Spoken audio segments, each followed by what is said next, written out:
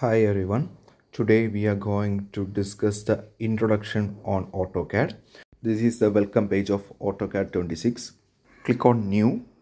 We can get a new page, a drafting page. So at first we check the AutoCAD command box. So here control 9 to turn off and turn on the command box. Now we can go for the workspace switching. Initially it will be on drafting and annotation but we have to check if it is whether 3D basic to draw the 3D view or 3D modeling. And today we are discussing the 2D so put it on drafting and annotation and we can see the commands like this by when we put the workspace switching to drafting and annotation. Now moving to the toolbar so on the left we can see draw command modify command annotation layers block properties and so on. Now we can change the layout into a much simpler version by click double clicking on the toolbar. And when we press double click again we can get this type of layout on the toolbar. Now we check the units. So we have to put the precision to 0.0 for our normal drawing. Then we check the units and set it to millimeters. Then click ok. Moving on to discuss the limits. When we click a command we can see the x-axis and the y-axis value is so large because it is randomly placed anywhere in this layout. So we have to put our limits. So click limits or type limits. We can set the lower left corner to 0 comma 0 that will be the origin.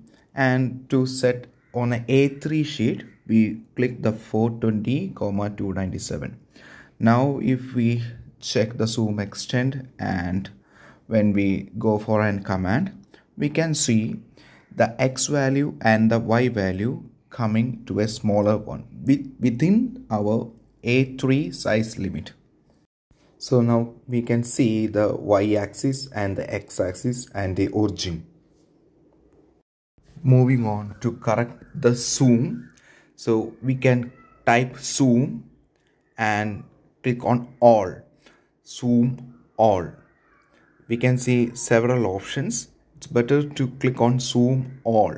Now we will come inside the limit now we are discussing about the object snap or o snap. We can type at o s n a p. Object snap we have to select all the options.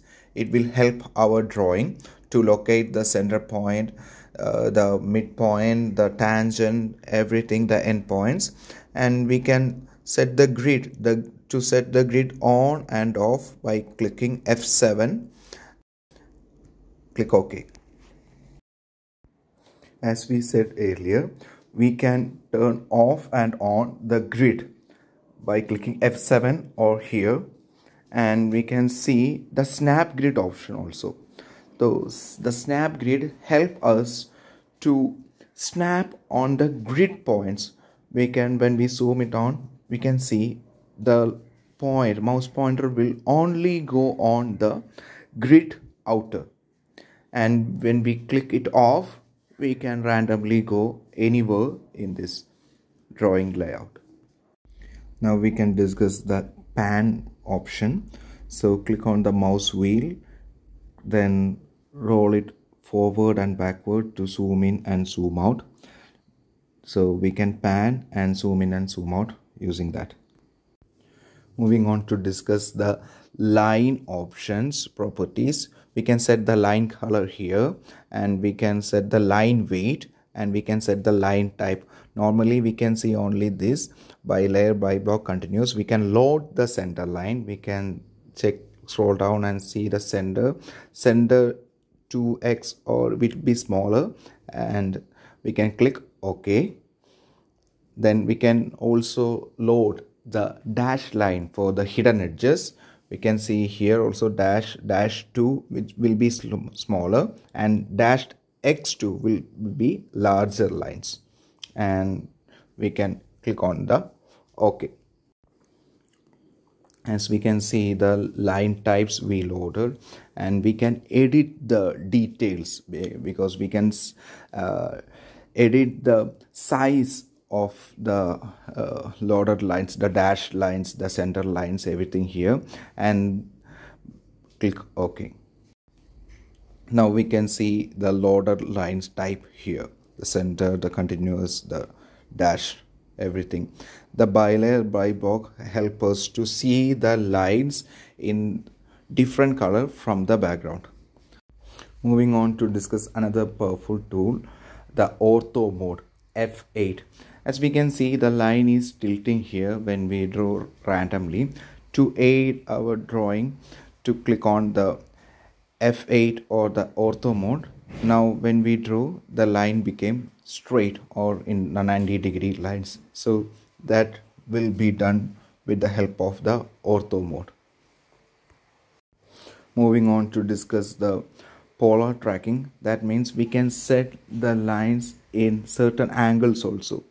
So we when we tilt we can see when we put the ortho mode we can see only 90 degrees.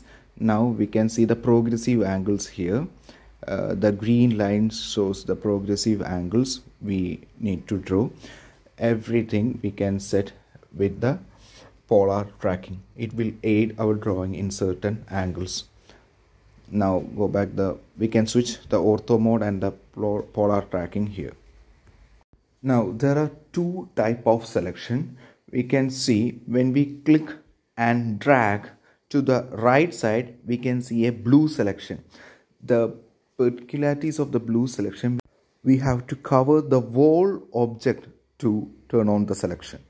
We have to cover the whole subject.